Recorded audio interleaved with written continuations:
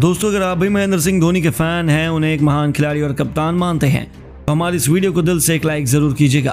दोस्तों, चेन्नई की दर्दनाक हार के बाद ड्रेसिंग रूम में धोनी ने मचाया जमकर बवाल। रविंद्र जडेजा से लेकर ऋतुराज की जमकर क्लास लगाते हुए उन पर उतार दिया अपना गुस्सा। तो आखिर क्यों चेन्नई की हार के बाद धोनी अपना आपा काबू में नहीं रख पाए? आखिर कैसे चेन्नई का ड्रेसिंग रूम बन गया जंग का मैदान? आखिर धोनी ने किन किन खिलाड़ियों को लताई है? तताड़। ऐसा क्या बवाल मचा ड्रेसिंग रूम में कि पूरा क्रिकेट जगत धोनी का वह अंदाज देखकर अभी भी सदमे में नज़र आ रहा है? उसका अपना घटना का पूरा वीडियो हम आपको दिखाएँगे, लेकिन उससे पहले आपको क्या लगता है? विराट रोहित और धोनी में कौन अपनी टीम को आईपीएल 2024 का चैंपियन बनाएगा? अपनी राय हमें नीचे कमेंट करके ज़रूर बताइए। दोस्तों, महेंद्र सिंह धोनी ने जैसे ही चेन्नई की कप्तानी छोड़ी, चेन्नई की गाड़ी इस वक्त पटरी से उतरी हुई नज़र आ रही है।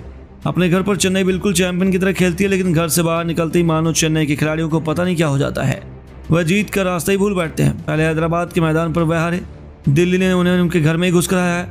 तो अब लखनऊ के कानर स्टेडियम में धोनी की खतरनाक बल्लेबाजी के बावजूद के राहुल के लखनऊ ने उन्हें इतने बुरे तरीके से पीटा कि अब तो उनके लिए प्लेऑफ की उम्मीद अभी धुंधली नज़र आ रही है। जी हाँ दोस्तों, लखनऊ के मैदान पर जब उन्हें पहले बल्लेबाजी करने का मौका मिला तो उनका टॉप ऑर्डर पूरी तरह बिखर गया। रचिन नवीन खाता नहीं खोल पाए, ऋतुराज केवल सत्रह रन बना पाए। शिवम दुबे से लेकर समीर रिजवी ने भी कुछ खास नहीं किया। हालाँकि जडेजा ने 40 गेंद पर संतावन रन बनाए तो अंत में धोनी ने 9 गेंद पर अट्ठाईस रन ठोकर अपनी टीम को एक सौ छिहत्तर रनों के सम्मानजनक स्कोर तक पहुँचाया, जो काफ़ी माना जा रहा था, क्योंकि लखनऊ की धीमी पिच पर चेन्नई के पास एक घातक गेंदबाजी क्रम था। लेकिन ऐसा कुछ हो जाएगा, इसकी उम्मीद तो किसी ने भी नहीं की थी।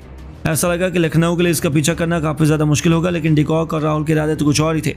इन दोनों खिलाड़ियों ने मिलकर एक रनों की ओपनिंग पार्टनरशिप बना डाली। डिकॉक के आउट होने के बाद राहुल ने हार नहीं मानी और तिरपन गेंद पर नौ चौकों और तीन तूफानी छक्कों की बदौलत बयासी रन बनाकर उन्होंने आखिरकार अपनी टीम को उन्नीस ओवर में ही एक आसान से जीत दिला दी और चेन्नई के गेंदबाज तो विकेटों के लिए तरस गए।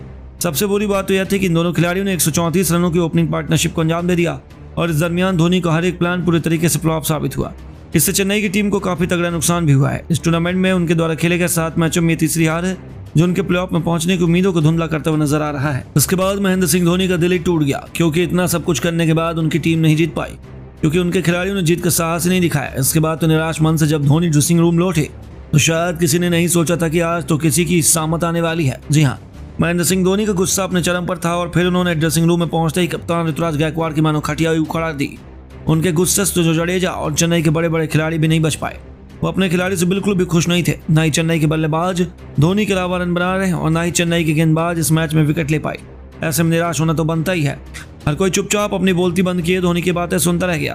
पूरे तेरे संग रूम में मातम का माहौल छाया हुआ था और कोई निराश था तो कोई गुस्से में था तो कोई अपने आँसू तक बहा रहा था, जहाँ कैप्टन कूल ने हर किसी को लताड़ लगाई। किसी की हिम्मत नहीं हुई कि धोनी के सामने आवाज़ भी ऊँची कर पाए।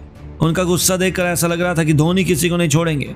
जहाँ महेंद्र सिंह धोनी के गुस्सा और नाराज़गी हर किसी की हैरत में डाल गई तो धोनी को शायद पहली बार इतने गुस्से में देखा गया, जहाँ इस खबर ने हर तरफ़ बवाल मचा दिया साफ़ तौर पर पता चल रहा है कि धोनी बिल्कुल खुश नहीं है। और उन्होंने चेन्नई के ड्रेसिंग रूम को ही जंग का मैदान बना दिया। लेकिन दोस्तों आपको क्या लगता है? धोनी क्या अभी भी अपनी टीम चेन्नई को आईपीएल 2024 का चैंपियन बना पाएँगे? अपनी कीमती राय में नीचे कमेंट करके ज़रूर बताइए और ऐसी नई नई खबरों के लिए हमारे चैनल को सब्सक्राइब ज़रूर कीजिएगा। धन्यवाद।